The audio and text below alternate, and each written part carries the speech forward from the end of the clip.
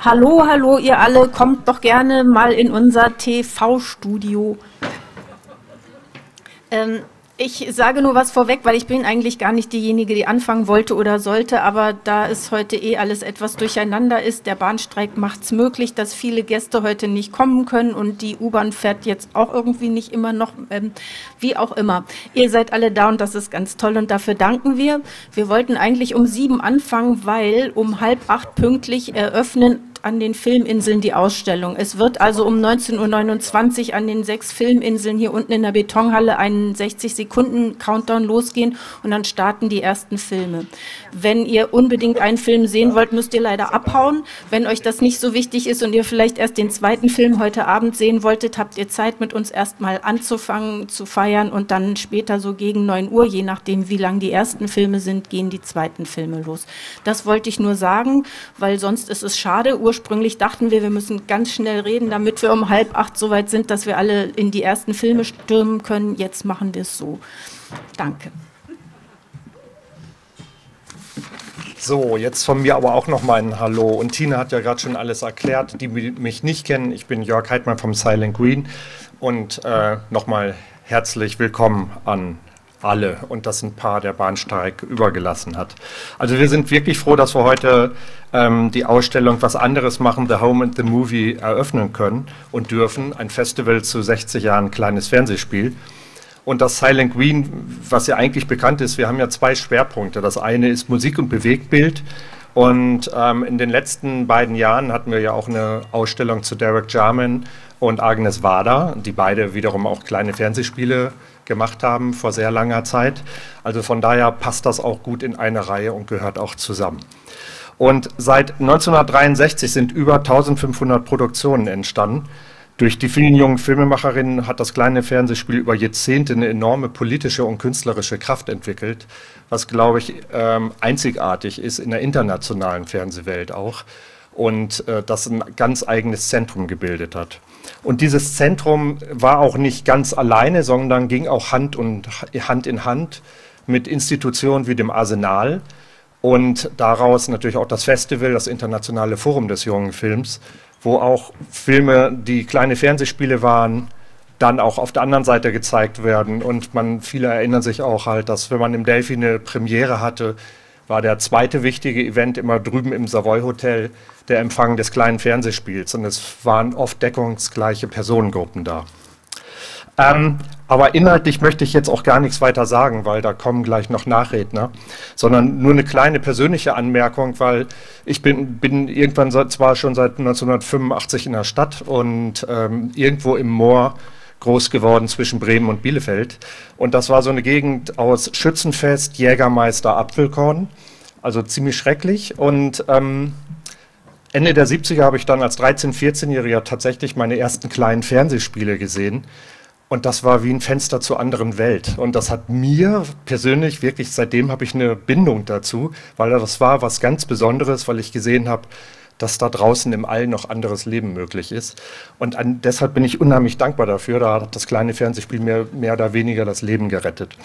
Und deshalb kommen jetzt auch, und das ist meine Funktion heute, eine ganze Menge Danksagungen die jetzt keine Pflicht sind, sondern ich freue mich auch den Leuten Danke zu sagen. Zunächst ähm, der Stiftung Deutsche Klassenlotterie Berlin und dem Hauptstadt Kulturfonds. Ich weiß nicht, ob Leonie Baumann auch hier ist, die wollte kommen, ich, ich sehe jetzt aber eh nichts. Und weil wir haben zwar seit, drei, äh, seit 2023 hat das Silent Green eine ganz kleine Sockelförderung von sieben Prozent des Gesamtetats, aber das verpufft für Infrastruktur und sonst was. Und ohne diese Drittmittelförderung könnten wir solche Ausstellungen gar nicht machen. Ja, also deshalb herzlichen Dank dafür. Dann natürlich allen Leuten, die hier jetzt gerade für dieses Projekt, was extrem viel Arbeit war, weil man sich durch diese ganzen Produktionen und man hätte auch natürlich 50 verschiedene Ausstellungen darüber machen können. Ähm, deshalb die künstlerische Leitung und die Gesamtkonstruktion hier, die Merle Kröger und Bettina Ellerkamp ähm, hier vorgenommen haben. Ganz, ganz, ganz herzlichen Dank. Aber wir hatten ja auch Unterstützung, unter anderem kuratorische Beratung Katrin Brinkmann. Ja, auch dafür herzlichen Dank. vom Silent Green, und jetzt gebe ich ein bisschen Gas, vom Silent Green Linda Winkler, die die Projektleitung gemacht hat und äh, die Produktionsleitung Merlinda Wied. Beide auch ganz super Job gemacht, danke. Dazu die Projektassistenz Ariadna Blank-Lopez, Luise Hoffmeister, Pauline Resch, Presse und Kommunikation, Hanna Osenberg, Mirna Schippers, Jutta von Sitzewitz, Assistenz Kommunikation Frieda Dahler, wissenschaftliche Mitarbeit Gerrit Woltemar, technische Leitung Christoph Andrich, Kai Kieren, Richard König, technisches Team Benjamin Graf, Philipp Kroll, Felix Kuhn, Jonathan McDaniel, Jim van Meeren und Dustin Nikolai und Ausstellungsbau der muss gerade auf unseren Hund aufpassen und das tut er gerade, weil der hat hier alles gemacht. Wirklich, das ist schade, dass er nicht da ist. Unser Hund hat sich ein Bein gebrochen, wie sich das gehört in dieser Zeit. Ähm, Simon Vierbohm, also denen allen auch danke.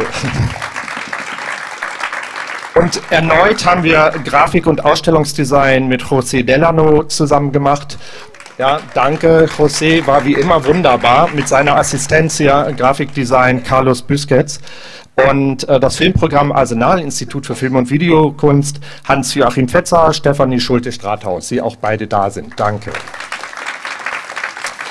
Unsere liebe alte Freundin ist eingesprungen, um die Übersetzung zu machen. Deshalb Rubaika Jaliwala ist auch da. Danke. So, und dann natürlich ähm, für die Unterstützung bei der Gestaltung des Film- und Fern Veranstaltungsprogramms danken wir Burkhard Althoff, Leiter vom kleinen Fernsehspiel. Der sagt gleich auch noch ein paar Worte. Danke, Burkhard. Und auch deinem ganzen Redaktionsteam komme ich gleich noch zu. Vivian Buschorn, Wally äh, Djordjewic, äh, Volker Pantenburg, Susanne Sachse, Philipp Schäffner, Alexandra Schneider, Stefanie Schulte-Strathaus, Marc Siegel, Annika Wagner sowie allen Filmschaffenden, Lizenzgeberinnen, Performerinnen und Veranstaltungsgästen. Dann jetzt aber äh, nicht als letztes, aber trotzdem der ganzen Redaktion vom kleinen Fernsehspiel natürlich herzlichen Dank. Äh, auch allen ehemaligen Redakteurinnen, die hier auch teilweise noch äh, mit äh, Tat und Rat zur Seite standen und den Studierenden des Seminars Archivforschung und Praxis an der Johannes Gutenberg Universität Mainz, den gesamten Team des Arsenalinstituts für Film- und Videokunst, B-Books und äh, äh, Anschef, Daniel Hendrickson, Patrick Schneider, dem Team von Waveline, der ist auch hier, sowie unserem Team vom Mars, und da passt immer, das war's. Also in dem Sinne, ähm, danke, dass trotzdem noch so viel gekommen sind und jetzt geht's weiter. Danke.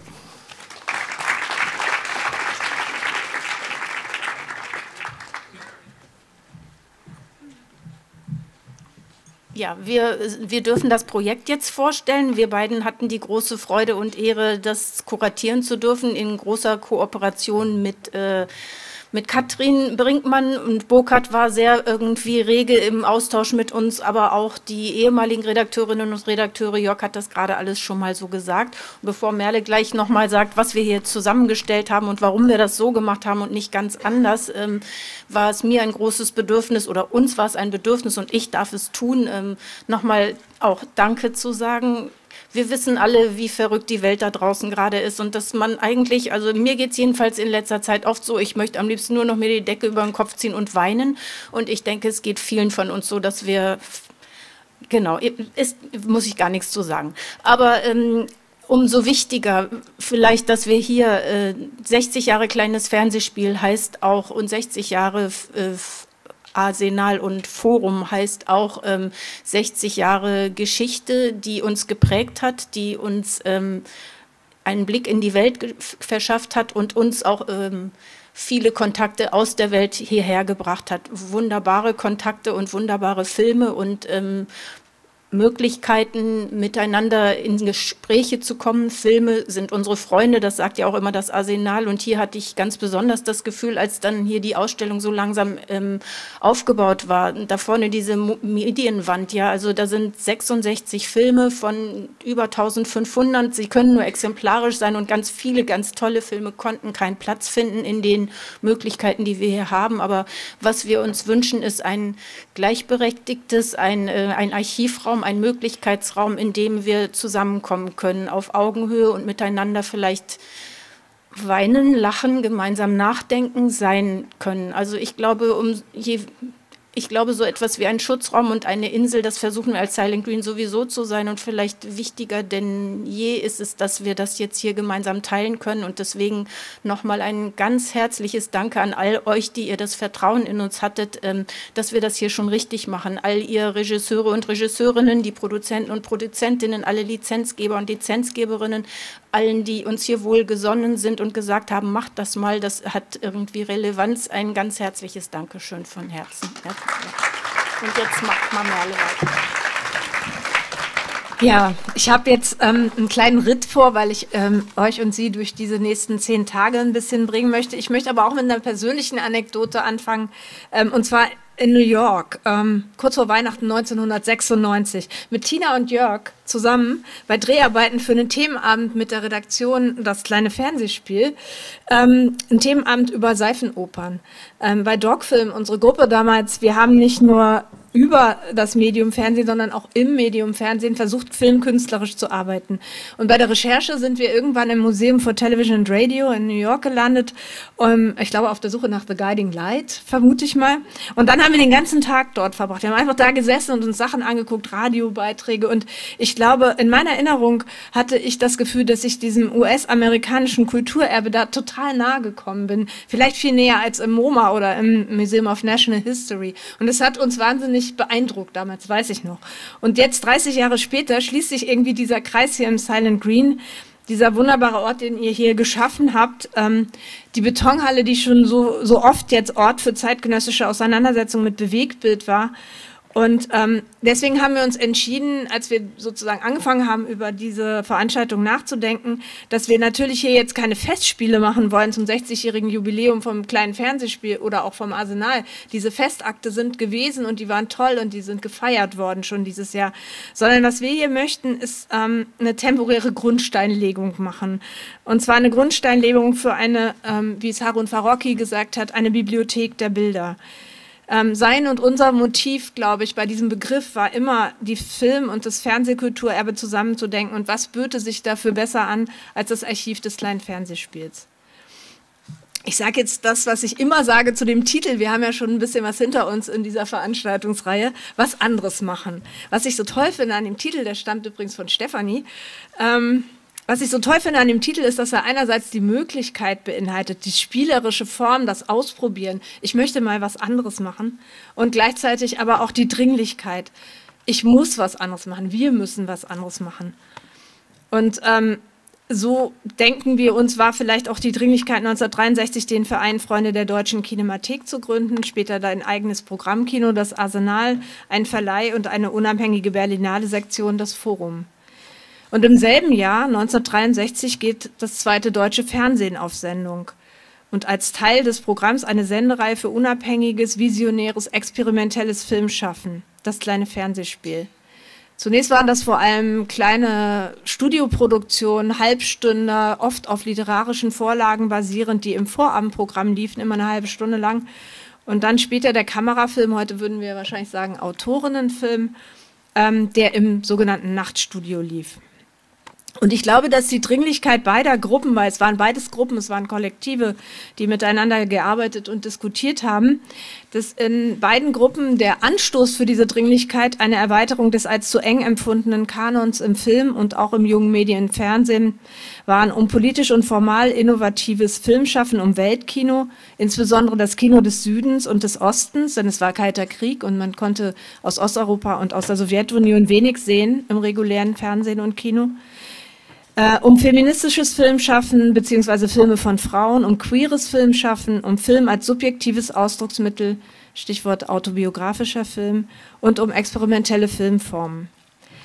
Und mit dem kleinen Fernsehspiel in Koproduktion, also als Finanzier, als Co, ähm, also als Anschub auch oft, und den Distributionswegen Festival, Kino, Verleih und Fernsehausstrahlung entstand so für Filmschaffende aus aller Welt ein künstlerisches Biotop, das zumindest temporär Schutz vor kommerzieller Verwertungslogik gewährt. Und diesen Schutzraum hier, den haben wir jetzt versucht in die Gegenwart zu übertragen. Und deswegen stelle ich jetzt mal vor, was hier eigentlich passiert wird in den nächsten zehn Tagen. Wir sind jetzt hier in der unteren Betonhalle und ähm, es wird hier 66 Werke des politischen, poetischen, innovativen Weltkinos in chronologisch angeordneten sechs Filminseln zu sehen sein. Das sind die Inseln hier und dort. Und immer an der Seite jeder Insel steht ähm, genau die Jahreszahl von wann bis wann die Filme äh, dort gemacht wurden. Und natürlich gibt es überall auch Überblickprogramme und es gibt dieses wunderbare Programmheft, ähm, was gemacht wurde, wo man sich die Timetables angucken kann, wann genau welcher Film wo zu sehen ist. Jetzt springe ich mal nach oben. Da oben ist die sogenannte Rechercheebene, weil dieser Begriff des begehbaren Archivs, der ist uns wirklich wichtig. Also dieses, dass es auch ein Arbeitsort ist, sein kann hier, ein Forschungsort auch. Ähm, zu jedem Film gibt es eine, ähm, wir nennen das immer Produktionsakte. Da sind äh, ganz unterschiedliche Dinge, Forumsblätter, Presseartikel, ähm, Unterlagen aus dem ZDF-Archiv. Zum Teil haben uns Filmemacherinnen erlaubt, äh, erste Entwürfe von Filmen da reinzutun, äh, Standbilder, alles Mögliche. Da kann man also einfach mal forschen, ein bisschen um die Filme herum. Ähm, dann gibt es dort äh, Podcasts und zwar einmal von dem Seminar, was Jörg vorhin schon erwähnt hat, ähm, äh, Archivforschung und Praxis an der Johannes Gutenberg Universität, wo Katrin und ich ähm, mit Studierenden dieses Archiv erstmals ein bisschen erforschen durften und ähm, das auch so ein bisschen so eine Zelle war äh, für, die, äh, für diese Veranstaltung. Und ähm, genau, von da sind vier Podcasts entstanden, sowie drei Podcasts des Arsenals aus der Reihe Berlinale Forum Publikumsgespräche Gespräche aus fünf Jahrzehnten. Das ist auch noch eine ganz neue Reihe. Ähm, und wir sind sehr froh, dass wir drei von diesen Podcasts schon hier haben. Dann gibt es mit Killer Berlin Dog ein kleines Fernsehspiel, auch von Tina Ellerkamp und Jörg Heidmann gemacht. Und ähm, wir haben uns entschieden, das als Übergang zu den interaktiven Medien äh, zu zeigen, weil es 2000 nach seiner Produktion und Kinopremiere im Forum als CD-ROM weiterentwickelt wurde, als eine interaktive CD-ROM. Und äh, für uns ist das sozusagen unsere antike Playstation oben in der Rechercheebene. Ähm, und dann gibt es das Cinema on Demand. Das Cinema on Demand ist das Studiokino oben, wenn man jetzt hier rauskommt, rechts. Das hat 40 Plätze und ähm, dort ist es so, dass äh, Gruppen ab fünf Personen sich ähm, für einen bestimmten Zeitslot, sagen wir Dienstag 17 Uhr, würden wir gerne zusammen diesen Film gucken, aus diesen 66 Filmen sich einen aussuchen können und dann können sie noch entscheiden, ob sie das offen tun wollen, also andere Menschen dazukommen dürfen oder ob sie das im geschlossenen, geschützten Raum tun möchten. Also seid herzlich eingeladen, schreibt uns eine E-Mail auf der Website, ist, äh, sind die Anmeldelinks und genau, tut das, nutzt das gerne. Genau. Und hier sind wir jetzt im TV-Studio oder im Forum, haben wir es oft genannt, also da, wo wir zusammenkommen werden in den nächsten Tagen für Veranstaltungen. Und jetzt mache ich wirklich einen Schnelldurchlauf. Morgen am 17., am Freitag um 19 Uhr geht es hier um die Geschichte und das Selbstverständnis der Redaktion Kleines Fernsehspiel einem Vortrag von Katrin Brinkmann und ein Gespräch mit ihr, mit Burkhard Althoff und Claudia Tronier. Wenn ich hier Namen sage, äh, ich kann die nicht alle erklären, aber guck gerne ins Programm, gucken Sie gerne da rein, da sind alle Menschen mit Civis auch erklärt, kurz vorgestellt.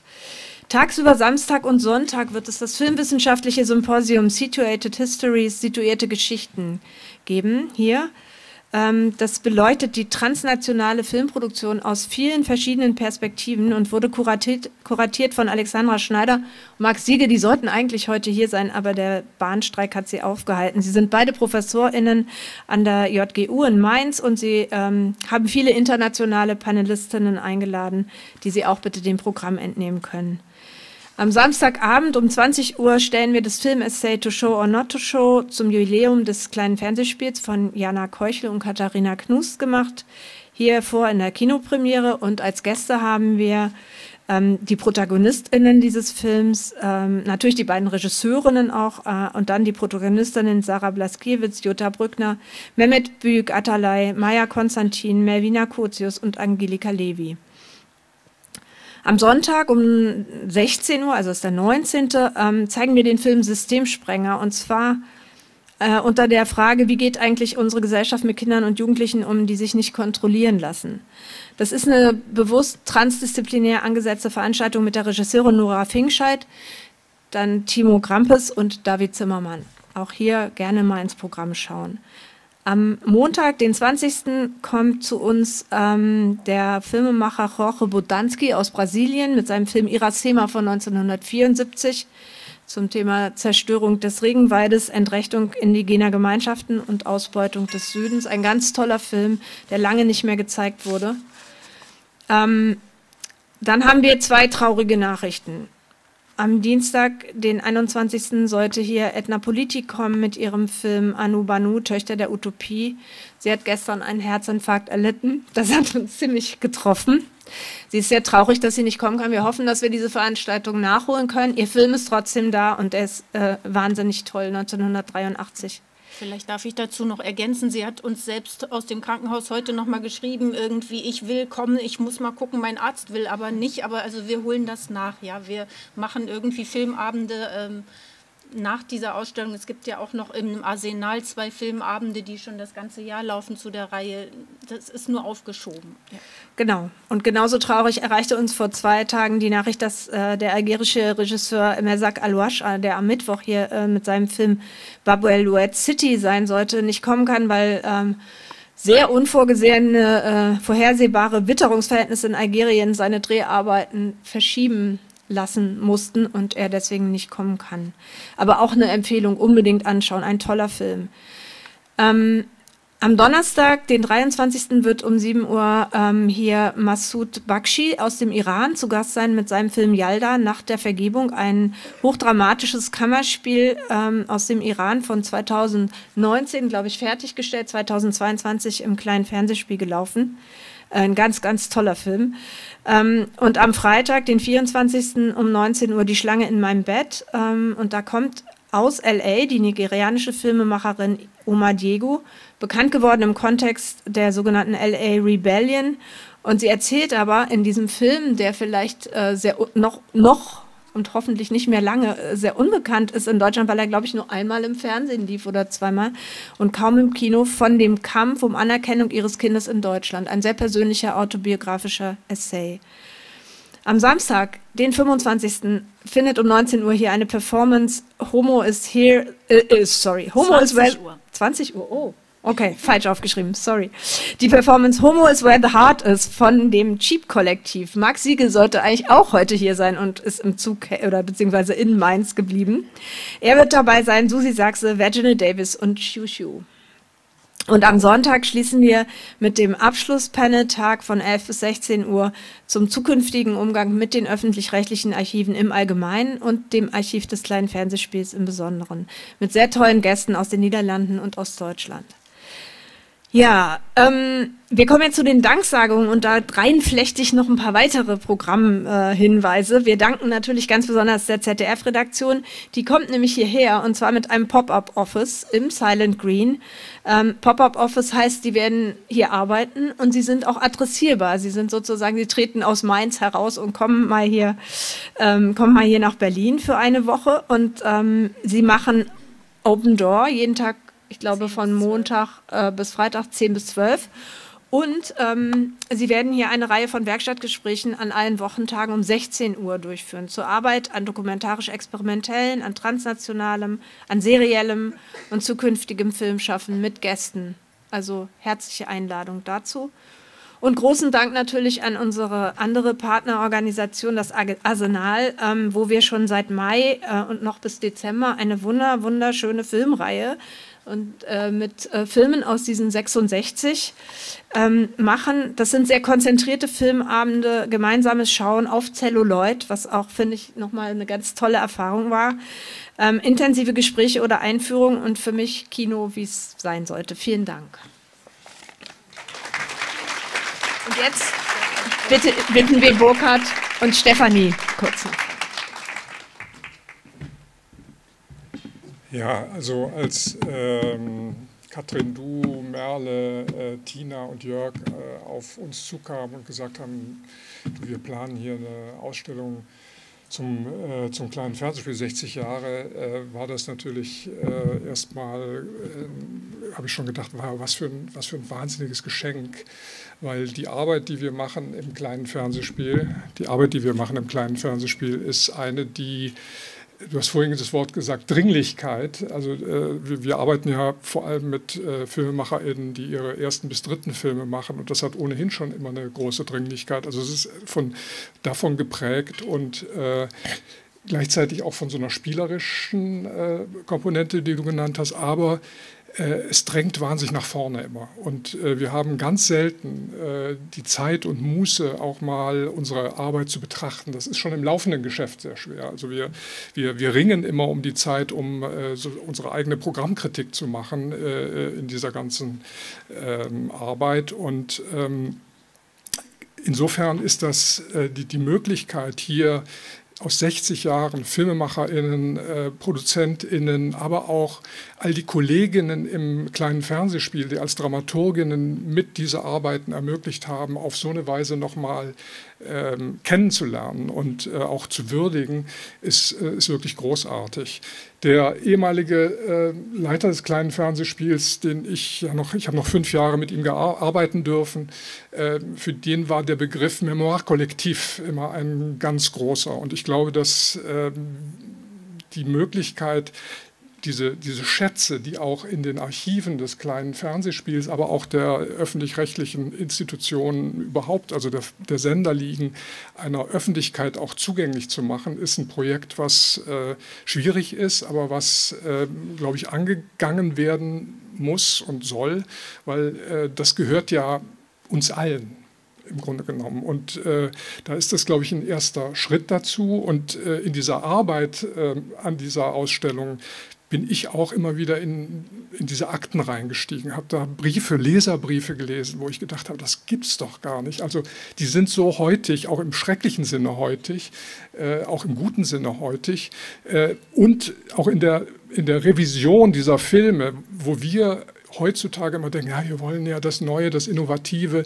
Und dann schaut man sich Filme an von vor 40 Jahren und denkt, die waren ja schon da. Also das ist wirklich äh, auch unheimlich bildend für uns jetzt gewesen in der Arbeit und für meine Kolleginnen. Und ich werde die Woche hier auch ganz viel noch schauen, äh, werde noch weiter reinsteigen. Vielen Dank auch für die Möglichkeit, dass wir hier ähm, sag mal, im Arsenal, äh, im Arsenal sage ich schon, aber das, ein bisschen stimmt es ja auch, ne?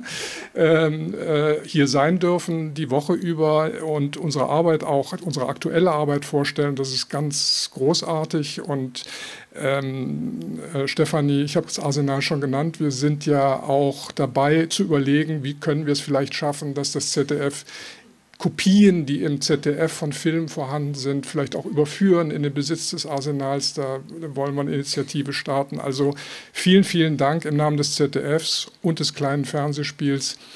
Und jetzt gehe ich gleich wahrscheinlich in irgendeinen dieser Räume. Vielen Dank.